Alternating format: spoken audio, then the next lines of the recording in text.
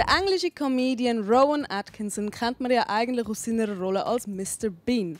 In der Fortsetzung von Johnny English versucht er sich als Keimagent, der einen Anschlag auf den chinesischen Premierminister verhindern sollte. Ob diese Bond-Parodie funktioniert, das diskutieren jetzt gerade unsere beiden Movie-Talker, der Wolfram Knorr und der Alex Oberholzer.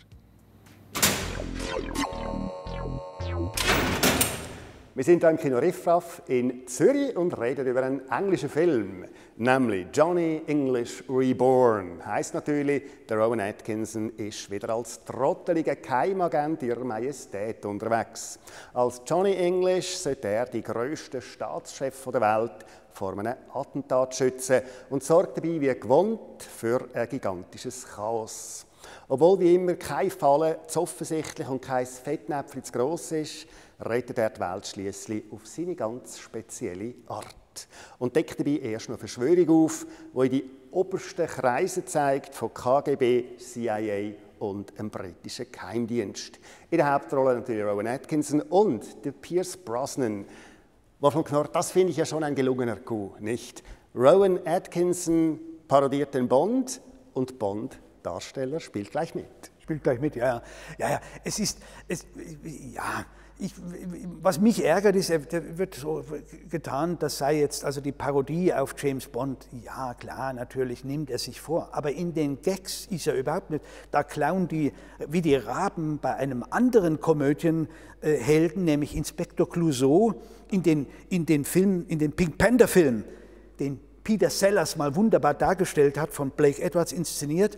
Und das waren ja Gags, die so ein bisschen verzögert kamen. Das, das war das Wunderbare bei dem Peter Sellers, der eigentlich äh, ein, äh, der, der, alles durchschaut und dann irgendwie plötzlich äh, eine völlig beschränkte Wahrnehmung hat und hinter ihm fallen dann, sterben die Leute wie die, wie die Hasen und er merkt das nicht und redet aber so in dem Sinne, meine ich, was, solche ja, Gags, ja, ja, äh, äh, hält große Reden. Und dann gibt es ja auch es gibt auch noch etwas anderes. Der Inspektor Clouseau hat ja einen Asiaten bei sich zu Hause, mit dem probt er immer die, die das, großen Auftritte. Die großen Auftritte. Und das Gleiche macht er ja auch in dem, in dem tibetischen äh, Kloster. Also all das, es sind unglaublich viele Gags. Ich habe irgendwo gelesen, ja, das ist eben der Mr. Bean. Ich sehe da gar nichts von Mr. Bean. Ich sehe wirklich eine, ja, ein, ein, das ist, das ist eine englische Version von, von Inspektor Clouseau. Natürlich ist der Rahmen, selbstverständlich ist James Bond, das ist ganz klar, das ist natürlich, aber die Gags selber sind es nicht. Es wird sich nicht wirklich über den Bond in dem Sinne lustig gemacht. Gut, das spielt ja eigentlich keine Rolle, ob Bond oder Bean oder ähm, Inspektor Clouseau. Doch. Wichtig ist doch, wichtig ist aber auch, ist es lustig? Eben, das meine ich eben. Viele sagen nämlich, das habe ich auch gelesen, sagen, oh, das ist ja enttäuschend, hier sind äh, die Gags nicht mehr so wie im, wie im ersten. Ja klar, weil sie hier sich ganz konzentriert auf diesen Clouseau einlassen und der ist halt ein bisschen anders gelagert als die, als die britische Komik, die man sonst gewohnt ist von diesen Johnny English. Dann, English. Müsst, dann müsste dir das aber besonders gefallen haben. Weil du ja Inspektor Clouseau-Fan bist. Ja klar, ich fand das auch zum Teil gut. Es gibt, es gibt ein paar interessante Gags, zum Beispiel in der, in, in, in der, der Luftseilbahn und, und so weiter, wo es kombiniert wird ein bisschen, Bond und Clouseau. Das fand ich auch noch ganz lustig.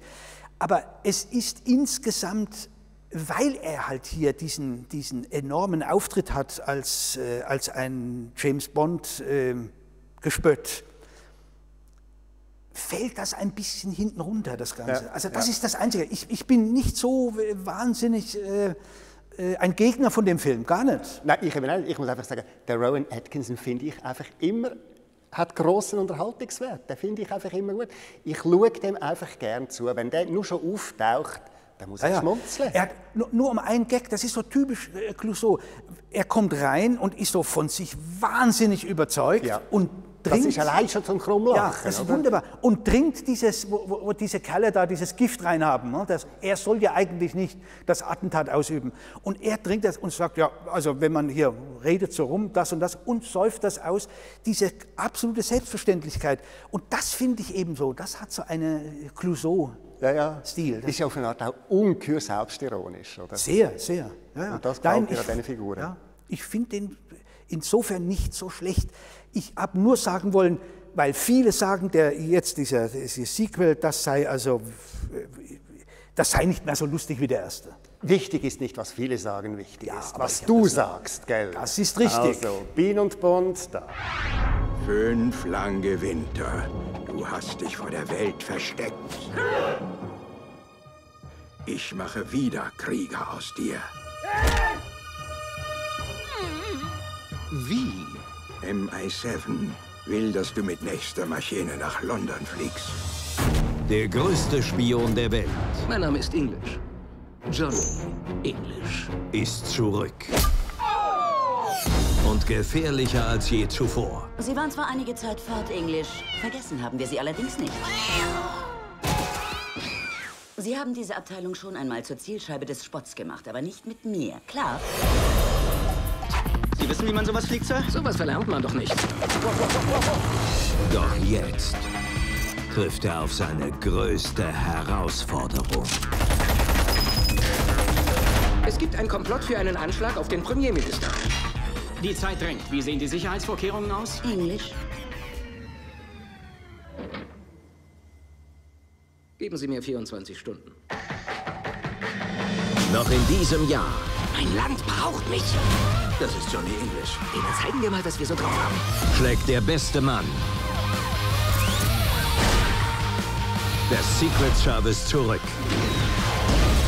Johnny. Das ist der Killer aus Hongkong. Die Nachrichkeit.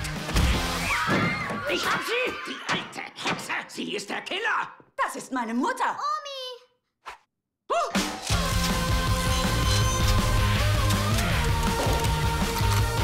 Johnny English, jetzt erst recht. Johnny English Reborn, ein bisschen simpel gestrickter Comedy-Klamauk mit den beiden so ganz unterschiedlichen britischen Original, Rowan Atkinson und Pierce Brosnan. Das Treffen Bean und Bond, ich finde es einfach lustig. Natürlich nicht tiefsinnig, natürlich ziemlich oberflächlich, aber vor allem der Bean selber, wenn er in die Fettnäpfchen trampelt, die er sich selber stellt, ich finde es köstlich. Darum, von fünf möglichen Sternen gebe ich drei. Ja, ich auch, ich gebe ihm auch drei. Einer der schönsten Gags ist für mich, er lernt ja im Kloster hart zu werden, im wahrsten Sinne des Wortes. ne? Also man kann ihm auch in die Weichteile treten, er ist hart. Und da gibt es eine Szene, ich glaube, das ist ihm in der Gondel, in der Luftseilgondel, wo der Bösewicht ihm zwischen die Beine tritt und er macht so, hm. Dann tritt er ein zweites Mal, dann tritt er ein drittes Mal hm, und der fassungslos, vollkommen fassungslos und dann endlich entschließt er sich selber zurückzutreten. Das finde ich ein wunderbarer Köstlich, Gag vor dem. Hintergrund dieser idiotischen Vorstellung, dass man in den Klöstern zu einem wirklich gnadenlos harten Typen werden kann. Auch Batman hat ja auch seine Ausbildung in einem Im tibetischen Kloster Kloster. Ja, das ja. ist äh, innen offenbar. Das finde ich sehr witzig. Also auch drei Sterne von mir.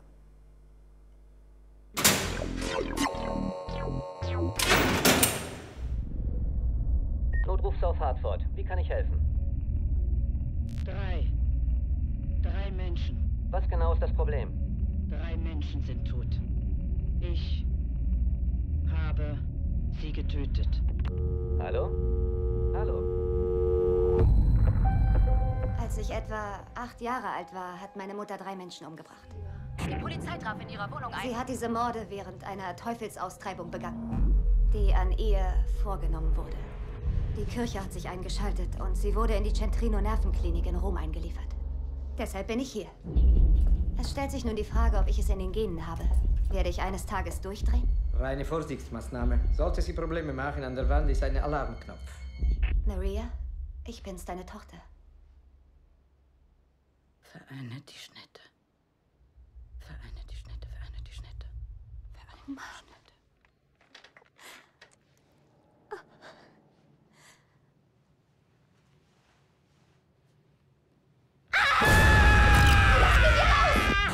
Wenn Sie Ihrer Mutter wirklich helfen wollen, müssen Sie den Exorzismus besser verstehen. Was schlagen Sie vor? Sie müssen einen miterleben. Wo ist sie? Wir mussten sie nach unten bringen, in den Keller.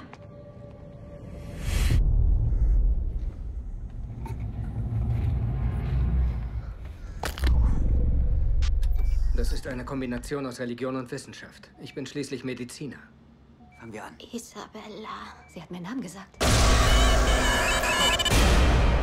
Ich habe vier Stimmen auf dem Video gehört. Was bedeutet das? Besessenheit von Dämonen. Bitte helfen Sie meiner Mutter. Das ähnelt keiner einzigen Form der Besessenheit, der ich je begegnet bin. Tut mir leid, Isabella. Ich kann das nicht. Teufel ist hier los? Ah! Was sollen wir tun? Ich weiß, ich weiß Ihr es seid... nicht! Isabella!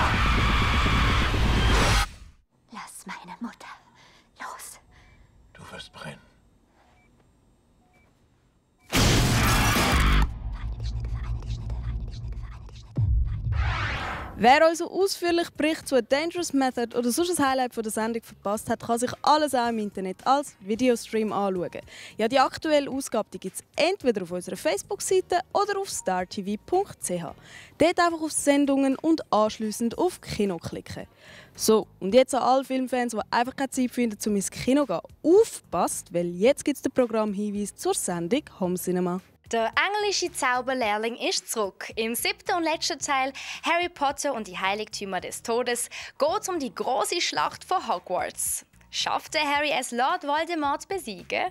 Das und mehr in der nächsten Home Cinema Sendung, also unbedingt einschalten. The Twilight Saga und vieles mehr wie immer am Mittwoch am 7. nur da auf Star TV. Ich wünsche viel Spaß im Kino. Bis zum nächsten Mal und tschüss.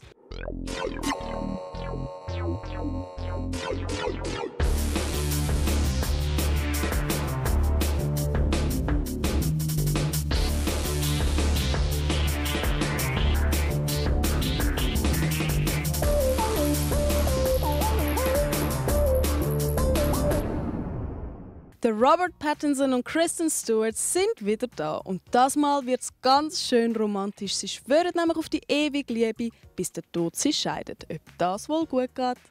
Der Twilight Saga bis zum Ende der Nacht und vieles mehr, wie immer am Mittwoch am 7. nur da auf Star TV.